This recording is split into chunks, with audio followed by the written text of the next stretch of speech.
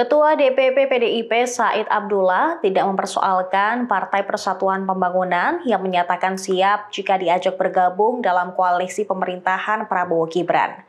Dia menegaskan apabila P3 mengambil sikap yang berbeda dengan PDIP tidak berarti pecah kongsi. Said mengatakan setiap partai politik memiliki kedaulatan untuk menentukan sikapnya dan tidak boleh diintervensi oleh partai lain. PDIP akan menghormati setiap keputusan yang akan diambil P3, termasuk jika nantinya akan bergabung ke pemerintahan Prabowo Gibran. Sebelumnya, pelaksana tugas Ketua Umum P3, Muhammad Mardiono mengatakan partainya siap jika diajak bergabung dalam pemerintahan Prabowo Gibran. Pernyataan itu muncul setelah ia menghadiri acara halal bihalal di DPP Partai Golkar pada Senin malam. Kehadiran Mardiono mendapatkan sorotan.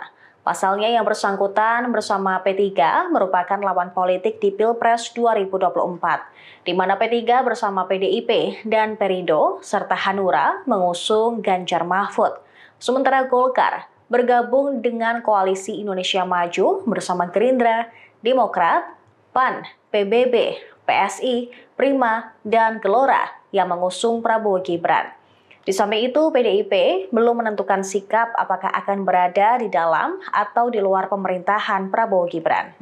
Download Tribun X sekarang, menghadirkan lokal menjadi Indonesia.